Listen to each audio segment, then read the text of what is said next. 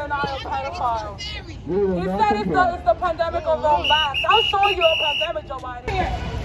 We do not want these pedophiles. We do not comply. We do not comply. We will not comply. We will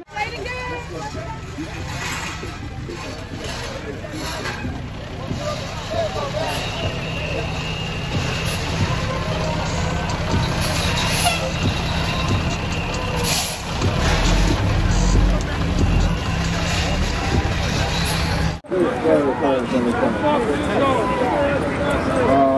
my God! Imagine if the streets are protected this way. There will be no crime all the time.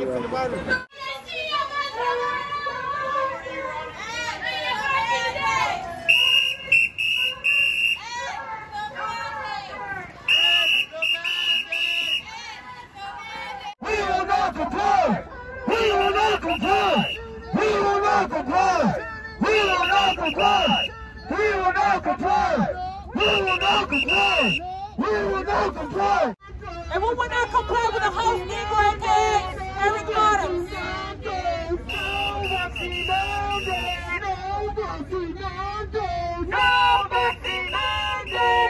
Joe Biden came here to meet with Eric Adams to talk about gun violence, right? But we have all these police present. Meanwhile, if you get pushed on the train or you get raped or something like that, where's the police response and presence? Well, we came here to basically let Eric Adams know what are the real issues right now, the mandates. Whether a person gets vaxxed or not, I know vaccinated people that they don't want to show their vaccination card. I know vaccinated people that don't want to get a booster. People's jobs are being attacked. I already lost my job. Many other people here lost their job. It is unfair. It is unconstitutional. And all we're demanding is to be have equal rights, whether you're vaccinated or not. Or not. I respect anyone's right to get it, but no one should have to be coerced. And they need to deal with the real issues, right? So if they're also targeting now NYPD because of the mandates, so we already have an issue in, in the spike of crime, which I don't attribute that just to gun violence. There's other factors that are into play. But if you're gonna threaten to fire NYPD officers, but you claim that crime is out of control, why would you get rid of them for? Why? And if you care about us, why are you taking people's jobs away? And it's a lot of black and brown people that are affected by this. But the Democrat Party, they claim that they're for black people. Now, I don't care about the left and the right, but I'm just saying that if someone really cares about you, they will not take your job away and they will not be coercing you or bribing you to do something that you don't want to do. It won't affect you until it hits you. Don't wait for it to get someone you love. These vaccines are not 100% safe. Right, let them know. My mother got her from the Moderna last year. She's blind in one eye. She had a stroke. She has myocarditis. And you guys are trying to put push boosters on people. It's not 100% safe. Don't wait until it's someone that you love. Speak up now.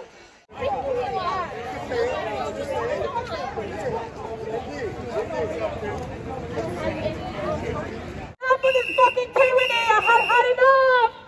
Year number three of the two weeks to slow down the spread, right? No, no jobs. We can't go to restaurants. That's okay. That's okay. A segregated society is okay, right? Is that okay? Are you okay with that? Are you guys okay with your children living like this? End the mandates right now.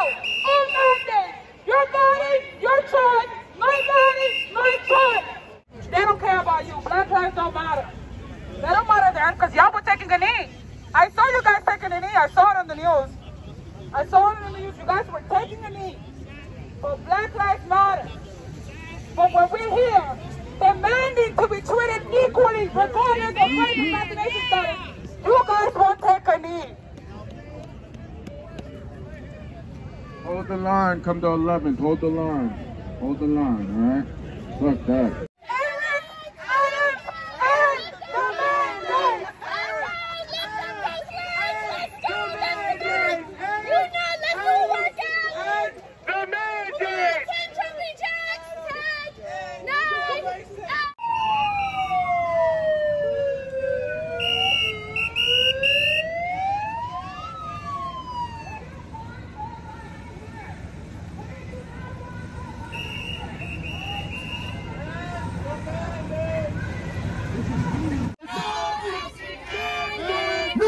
No vaccine mandates. No vaccine mandates. Go to the